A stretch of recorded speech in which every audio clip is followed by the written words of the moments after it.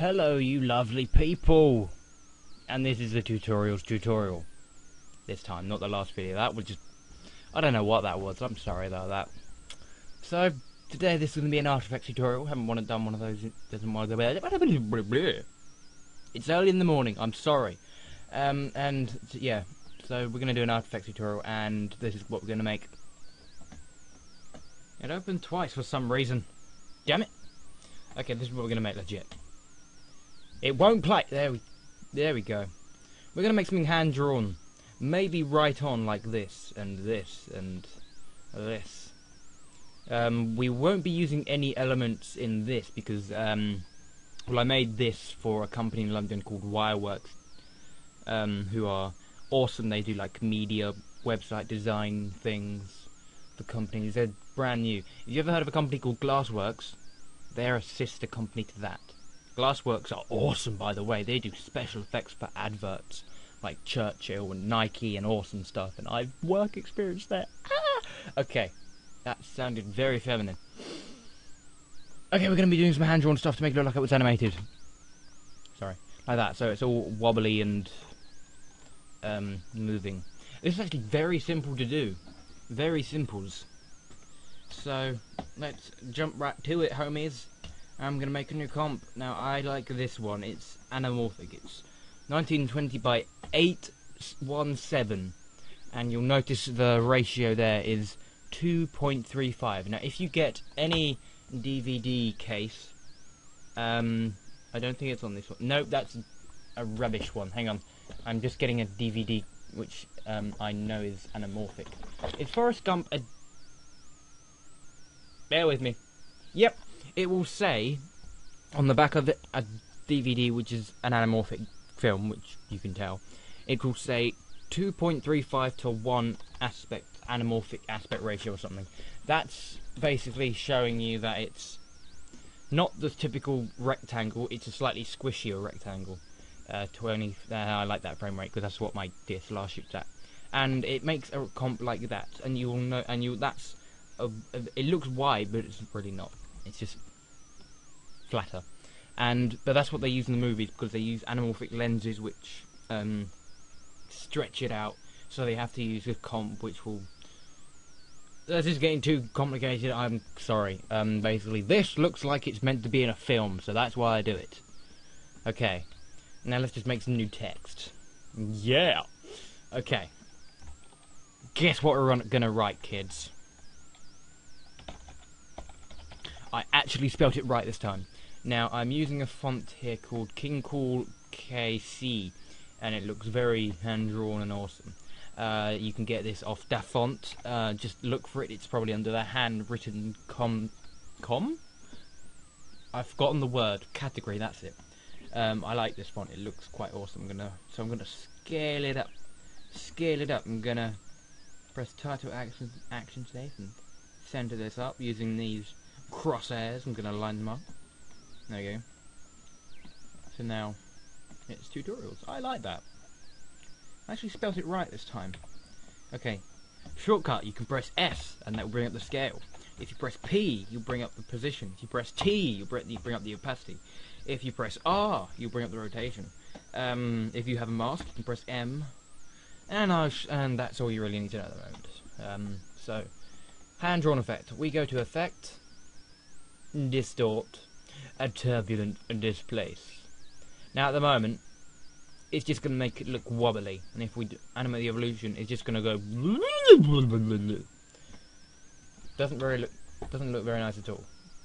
So we're going to do changing some values here. So the amount is going to go down to 24, and the size to 35. So now when we do that, it's less wobbly and now we're going to go to evolution options. We're going to cycle the evolution cycle it 18 and we're going to alt click alt click thank you on the random seed and you'll get this thing up. Now this is going to be a very simple expression and it's time little star which is times 10 so that number is going to go by... Why is this on frames? No. you can control click on this and it will bring up either frames, seconds, or something else. Don't know what they are.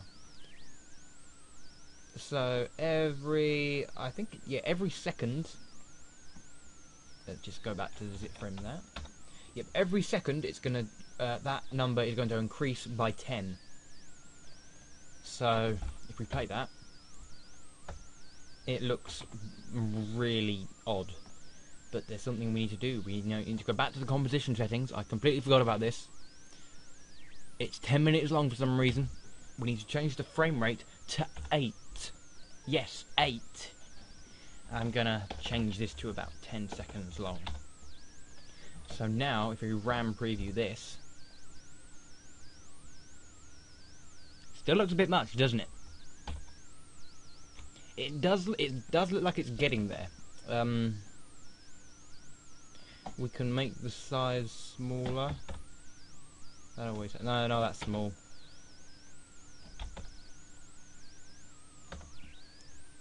We can change the amount.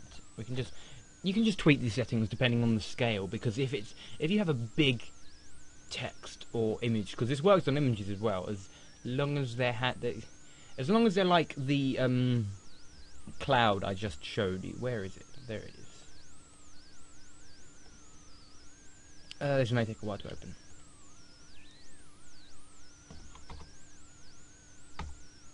There we go. That looks it. It looks subtle now, but you can do it on an image like this cloud because that's on a a white background, and well, that the back. I'm overcomplicating this. I apologize. Um, that's white, so it's the background. So you've got a lovely outline. Um, it also works on the Earth as well because not you don't want to do it on complicated um, pictures like an actual picture. You need to do it on something like this, which is hand, which looks like it's hand drawn. So you can just go into Photoshop draw something like it, like you're a four-year-old. Yeah, get a four-year-old child to draw something in Photoshop, and then you can then you can do this to it. And it actually looks quite cool. Now the reason we put it into 8 frames a second is to make it look like it's been animated. So it looks like you spent less time on it because you you would usually do it um, if you were proper at doing this you'd spend hours and hours doing this. We've spent 7 minutes. Almost 8 minutes doing this. It's too fast at 24 frames a second. Also, shortcut, Control K you can get up the, the you can get the composition settings up. So we're going to change back to 8. Um, and you can also use this in a composition which is normal speed as well, and it will stay at 8 frames a second. So you can have something in here which is moving at 24 frames a second, and that would stay at 8 frames a second and still look just at the same speed. I am. I apologise if this, this is getting overcomplicated. Um, I think now I shall teach you the magical art of making it look, look like look, look, look it's it's early in the morning. I'm not awake. Uh, we're gonna make it look like it's hand drawn. So we have to select the pen tool. You can press G to bring that up. Now we select the layer. Mm, I'm gonna press this key. Uh, did that? Did that? Didn't do, why doesn't that do anything? It must... No, it's that one. It's the one next to the one. It will make... It will maximize the view you're in. So it's the button next to the one on the keyboard. So we're gonna on the with the layer selected, we're going to just. This is also you can also find this tutorial on Video Copilot. I'm not saying this is my original idea. I'm just giving. I'm just telling you people how we can use this, his technique, in this tutorial. So, I won't really bore you with this, so I might pause it. So, all you got to do is go around the text. It doesn't matter if you cross over like that, it's not going to matter. Like anything you've already drawn, so... I'll just pause this and do some drawing. and I'm done, and that looks like a four-year-old has done it. Um, you can be as... It doesn't matter how messy this mask looks, it's gonna... it's gonna work, trust me. So we now have a mask. You don't have to close it up, join it up at the ends. Uh, it doesn't matter. Uh, you can now. That's what you need to do with a mask. So you go to Effect, uh, Generate a Stroke. That didn't sound very good, did it? Generate a stroke. Hmm. So, if you've got multiple masks, you can select them from this drop-down menu, or you can just press. You can select individual masks to do it on, or all masks, and that will select all of them. But we don't need to do that for this one because there's one mask. So I'm just gonna change the color to red for the tutorial's sake. Now we're gonna increase the brush size so it covers up all of the white. There we go. Looking beautiful there. I might make it a little bit smaller. Oh, that's fine. It doesn't matter if you got a little. What? Act what am I doing? What am I doing? You can move these around to cover them up, if you if you do desire. I am gonna stop with the funky accents. Okay.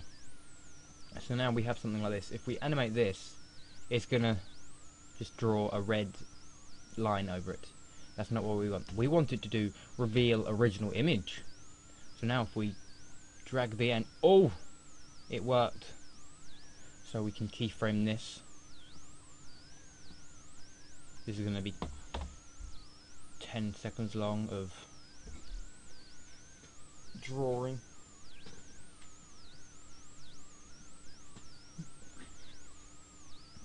At 8 frames a second this is going to go quite quick. Now you do notice that there are bits that are getting drawn, like like the middle bit doesn't look too good.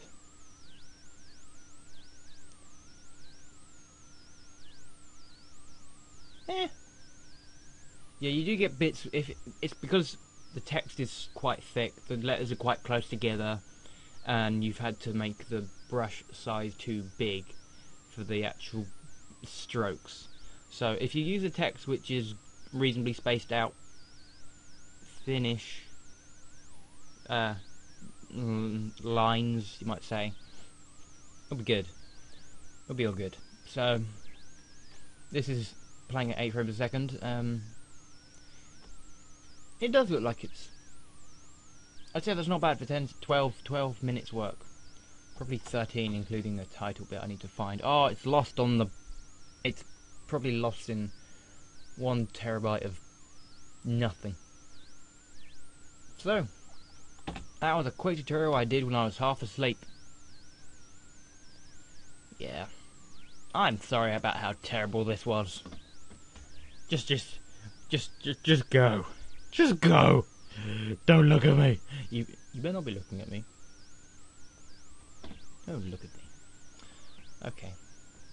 And that's how you do it you can apply that to anything. I had to draw around all of these lines, not those lines, all of these lines to make it look like it was drawing on. It looks better with this because I don't. Know.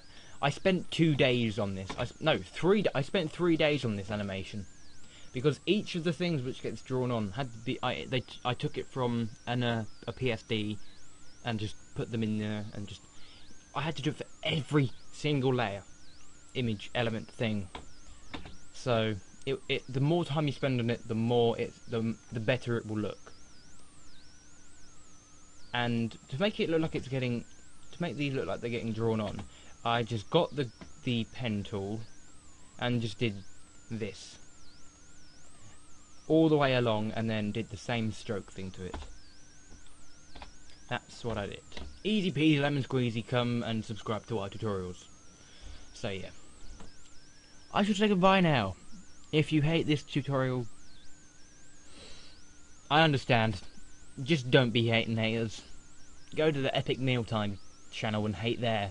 They like haters there. Yeah. So yeah, there you go. Laters taters. What the hell did I just say?